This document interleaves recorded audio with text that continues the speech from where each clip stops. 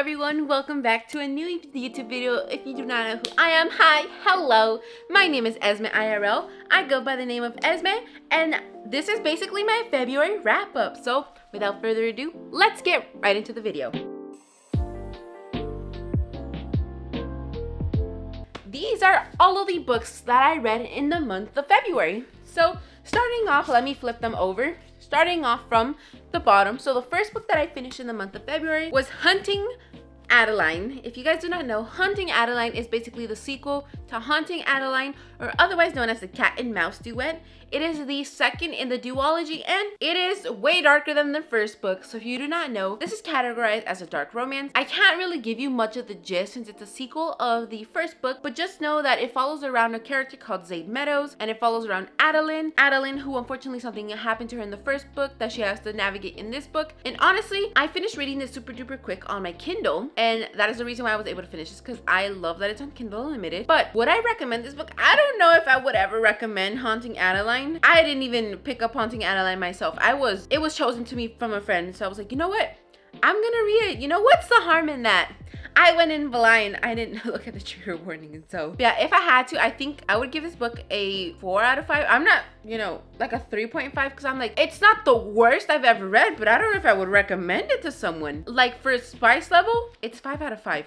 Like it has spice and other things. But yeah, that is the first book that I read in the month of February. The second one I'm actually gonna put together because I was in such a great Lauren Asher kick. So I read I read Terms and Conditions and I read The Final Offer. So if you guys do not know, this basically follows around the series called the Dreamland Billionaire series. I remember last month, January, I read The Fine Print or like I finished the fine print. And so I was like, you know what? I'm gonna read terms and conditions this month because why not? And so I finished reading both of these actually on my Kindle, but I did highlight some stuff except for I think the final offer. I didn't highlight anything in there or at least I forgot to tab. But I would want to say overall my favorite in like raw or in like out of the whole series, it goes like this. So it's the terms and conditions final offer, and then the fine print. I don't know, something about these two specifically, they're my favorite. Like I can't really like pick a favorite one, but if I had to, I think it would be terms and conditions only because I was giggling my feet in this one and I finished it like two days. So I'm just like, like I was over here in my bed, just you know,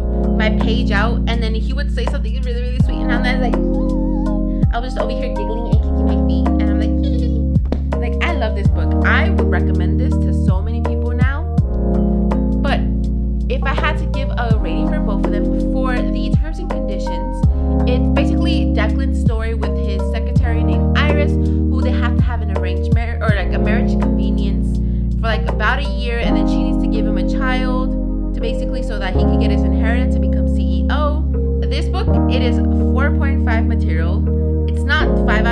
only because it doesn't live in my head rent free like the rest of my books.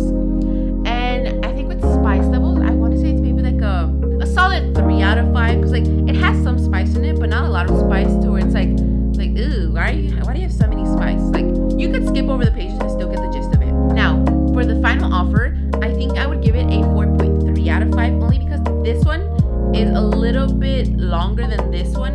And there was a few times where I was a little bit bored in this one. So this one, fine print took me a little bit more time to get through than terms and conditions. But nevertheless, it was actually pretty well as well. Like, I was also kicking my feet. So if you guys do not know, I kind of want to say it's kind of like ex-childhood friends to lovers. So basically this follows around Callahan, who is the youngest in the Kane brothers.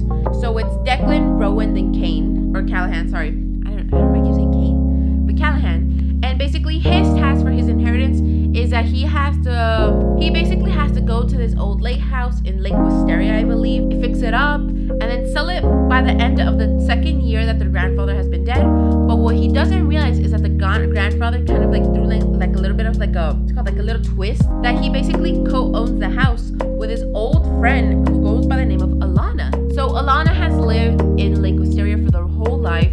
She was friends with um, Callahan. They even dated when they were younger, but then,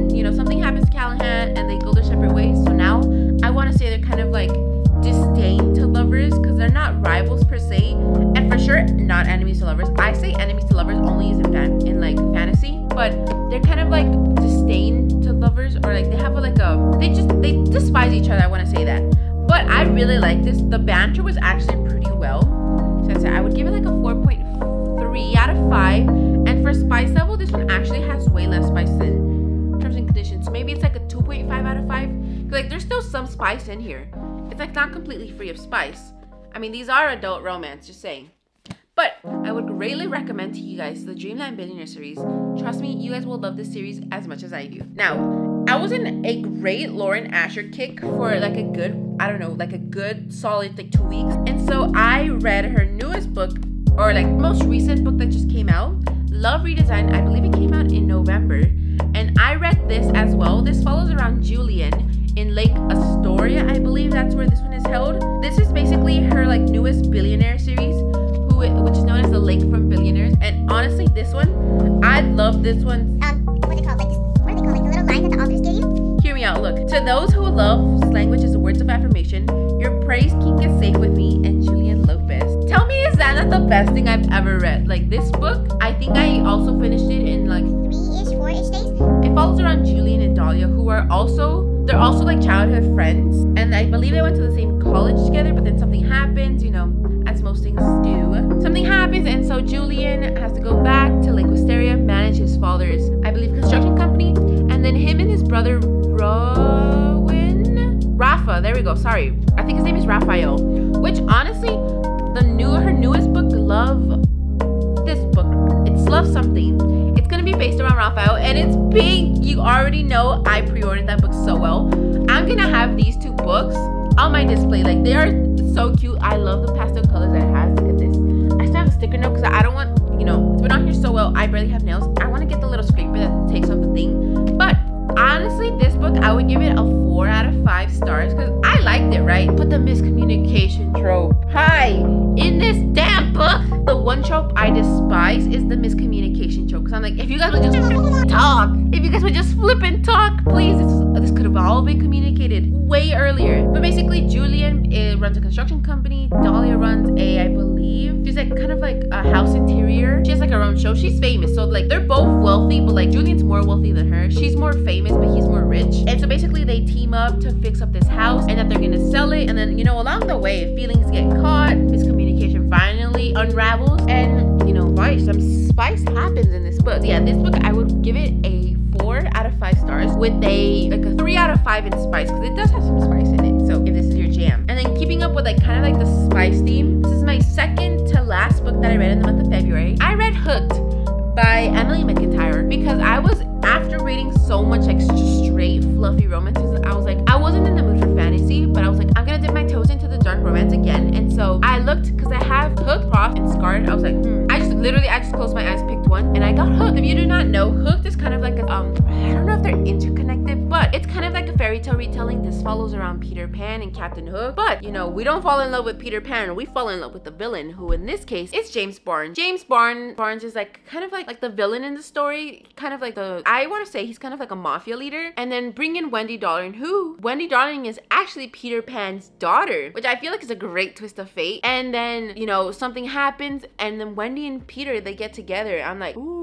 I'm not gonna lie, this book really made me hate Peter Pan. Cause like I've seen Peter Pan IRL and like not gonna lie to you guys, not my favorite movie. Like not the worst out of all of the movies I've seen, but like this book really solidified my hatred for Peter Pan. I think it's just like how they written it, but I really love James Barnes in here. Like it made me actually be like, ooh, you know, villains are actually kind of cooler than heroes. Cause this is the line that I stand for, right? The hero will sacrifice their love to save the rest of the world, but the villain will sacrifice the world to save his love. Which honestly, I feel like is way more romantic. Cause like if you sacrifice me for the world, I'm gonna haunt your ass. But then I'd also feel bad if you sacrifice the world for me. So it's like, it goes both ways. But this book, I would give it like a 4 out of 5 because I really did like it and I did finish it. This one I think I finished in like 4 days if I remember. I can't remember specifically how many days it took me. It took me a few days though, I will say because like I do work like a part-time job so it's like I can't always be reading although I wish I was but this has a lot a lot of spice. Uh, I give this one a 4 out of 5 in the spice meter so if you know if you want a dark romance based on Peter Pan but where you fall in love with Captain Hook and you have a lot of spice this is the book for you. Lastly the book that I read in the month of February was Bride by Ali Hazelwood. So if you do not know this was actually part of my book club in my discord and in my um my friend Caliente's discord and we were both reading the book of Bride and honestly honestly, I love this book so much. I love this book so much because it's basically Ali Hazelwood's um her debut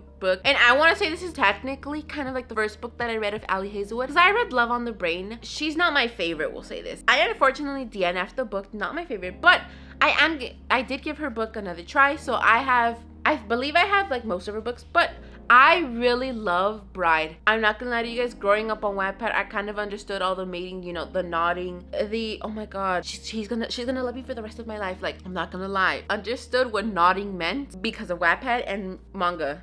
We'll just say that. But I did enjoy this book. I gave this book a 4.5 out of 5. Only because, you know, she doesn't live in my rent, brain rent free. I'm like, I vibed with her, but like not that much vibe with it but i did love the plot twist that it that includes um i did like how she spelled vampire with a y and honestly i ate this book right up. I bought this i believe saturday. I finished it on tuesday. Like it was it was quick. Like i finished this book super duper fast and i would greatly recommend you guys read this book if you guys want to like if you don't want to like read ACOTAR or like what's it called? Like shatter me slash Fourth Wing to be like your first fantasy book. This is kind of like um, another dipping your toes into fantasy because it has romance in it, but it's also still a little bit of like mystical, the uh, mystical fantasy because it deals with werewolves and vampires and humans. It has like a lot of I don't know if it has magic, but like it has like the mystical themes to it. So I would greatly recommend to you guys recommend this book to you guys. And surprisingly, this only has I don't know how many, but it has very little smut scenes, which honestly, after reading all those smut books that I had, I was kind of enjoying this one. I was like, I'm tired. I don't want to read more smut books, please like yeah these are all of the books that i read in the month of february. And honestly i kind of i feel like i had a great stack. It's like i realized i can read maybe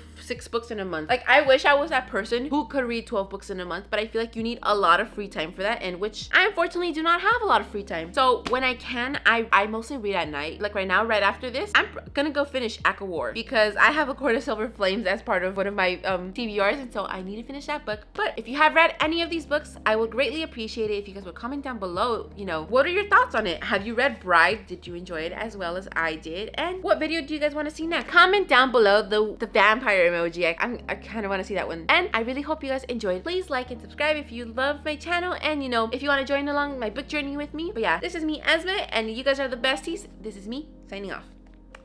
Bye, besties.